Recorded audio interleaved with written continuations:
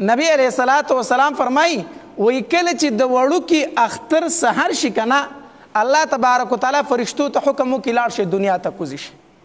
لاړ شی دنیا ته کوزی شی فرشتي وی الله سو کو لاړ شی د هر کوسی په سر کې ودرېږي او دا आवाज کوي چې اے امت محمدیه صلی الله علیه وسلم هغه رب طرف ته اوځي چې هغه ډیر ورکړه کوونکی دی هغه رب طرف ته اوځي چې هغه د لوی نه لوی ګناه معاف کوونکی دی نو چې کله د اختر سحر شي کنه دا پرشتي د کوسو په سر کې ودرېږي او دا اواز کوي حدیث مبارک کې راځي صرف انسان نه اوري او فریان نه اوري د فرشتو د اواز هر څیز اوري صرف انسانان یې نه اوري او فریان یې نه اوري هغوی وایي ای انسانانو ای امت محمدیه صلی الله علیه وسلم هغه رب طرف ته وځئ چې ډېر ورکړه کوونکی دی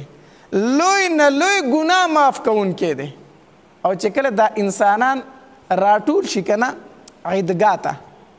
او د اختر لمونځ وکړي نو الله تبارک وتعالی د فرشتو نه تپوس کوي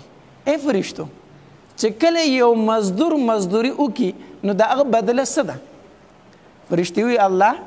دا هغه بدله دار چې مزدوري وکړه خو چې پوره پوره مزدوري ورته ورکړې شي کنه دا هغه مزدوري دار چې پوره پوره مزدوري ورته ورکړې شي الله تبارک وتعالى فرمای اے فرشتو زه تاسو گواه کوم تاسو ګواه شئ په دې خبره باندې چې ما دوی ته د روژو حکم کړی او دوی روژې ونیوې. ما ورته د تراوو ویلي او دوی تراوې وکړلې. ای پرښتو! تاسو ګواه شئ، تاسو ګواه شئ چې د دې روژو په بدله کې، د دې تراوو په بدله کې ما دوی له خپله رضا ورکړه. زه ترې نه رضا شوم او ما ما د دوی ټول ګناهونه وبخښل. ای پرښتو! تاسو ګواه شئ، ما دوی وبخښل، زه ترې نه څه شوم؟ رضا شوم او بیا الله تبارک وتعالى فرمایي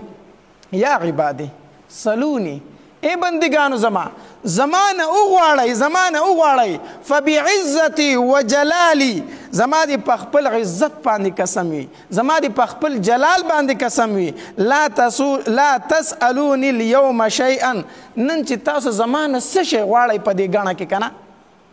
اې زما دې په خپل عزت قسمي زما دې په خپل جلال قسمي نن په دې عیدګاه کې په دې ګڼه کې چې تاسو د آخرت متعلق زمانه څه شي غواړئ زه له درکو د آخرت متعلق چې درنه سره څه غواړئ زه له او دنیا متعلق چې رانه غواړئ کنه نو پای کې تاسو مصلحت ته ګورم ډیر کله ته موږ دعاګانې غواړو د دنیا د پر الله مال داسې زرا کې دارا کې غره ته میلاویږي نه نو په دې کې زمونږ خیر نه ځکه الله تبارک وتعالي نه راکې دې کې زمونږ څه نه خیر نه خو دغه دعا به پیدا لاړه نه د الله تبارک وتعالي د اخرت ورسته سنبال کړی ده څومره دعاګانې چې تا په دنیا کې غوښتې دي دا به پیدا نه دي تلی یا در له الله تبارک وتعالي په دنیا کې هغه سیس در کې چې کله پاکستان خیر دی او چې کله پاکستان خیر نه وي دغه سیس الله تبارک وتعالي اخرت ته انسان له سنبال کړي نو الله تبارک وتعالی فرمایي زما دې په خپل عزت قسمي زما دې په خپل جلال قسمي زما دې په خپل لوی شان باندې قسمي چې د آخرت متعلق رانه څه غواړي زه به الله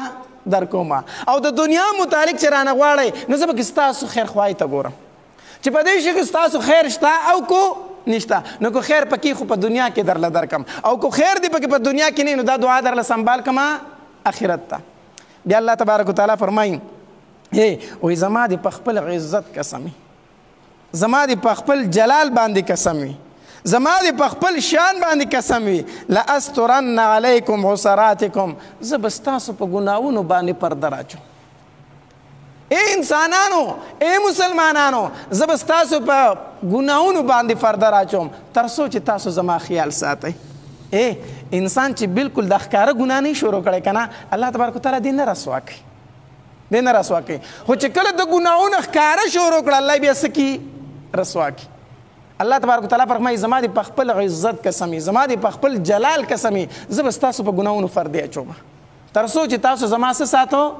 خیال ساتو او بیا الله تبارک وتعالى فرمایي او زما دې په خپل عزت قسمي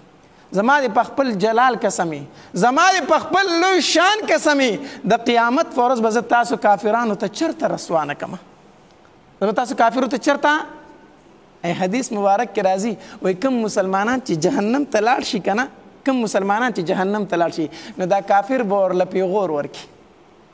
ای تاسو خو لا اله الا الله کلمه مو ویله کنه په دنیا کې او مونږ خو ویله نو څه پیدا درکړه مونږ هم په جهنم کې او تاسو راسره په جهنم کې پراته یې نو چې کله کافر مسلمان ته په جهنم کې فیغور ورکي چې تا ته ستا کلمې څه پیدا کړه زما سره خو تم په جهنم کې پروتي الله تبارک وتعالی به تمام مؤمنان د جهنم نه وباسي جنت ته به داخل کی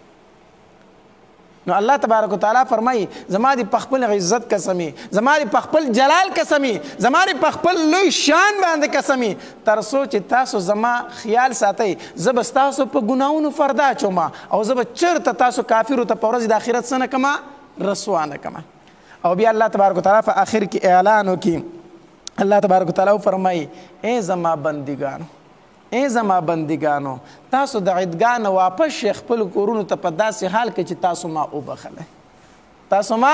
وبخلئ تاسو ته ما ټول ګناهونه معاف کړو او را روان وخت کې خیال کوئ چې نور ګناهونه درنه ونه شي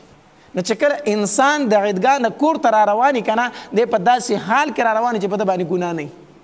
په د باندې څه نه ګناه نه نو د اختر فورز باندې پکار دا ده چې موږ د اختر ورځ په نافرمانو کې تیرا نکو ځکه په دغه ورځ ته حدیث مبارک کې راځي د تا یوم الجائزه ویل شوی د اختر ورځ ته یوم الجائزه ویل شي د بدلی ورځ د بدلی ورځ نو اول خدای چې دغه